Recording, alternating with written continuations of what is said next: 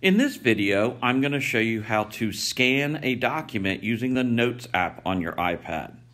So go ahead and find your Notes app, open it up, and then either open an existing note or create a new note. In the bottom right hand corner, you'll see a plus sign. Tap that and choose Scan Documents. The camera opens up and it shows you your document.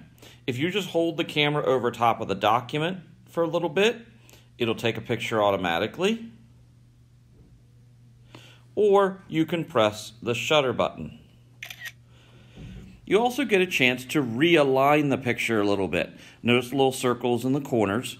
If you tap on the circle or maybe a little bit away from the circle, you can actually change the alignment and get a really precise scan.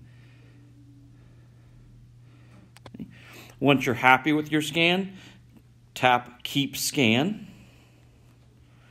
And it'll give you an option to do a second scan and add that to your document or just to hit Save. I'm going to choose Save and now I have a scan with one page. If I tap that one page, I can go back to the scan documents and I get a few options.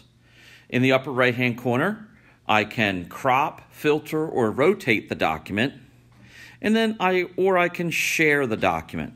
Sharing it allows you to send it by mail or a message or to create a PDF or mark up a PDF. In the bottom left hand corner is a plus sign where you can add other pages. In the bottom right hand corner is the trash can where you can delete that page. Once you're happy, you can tap done.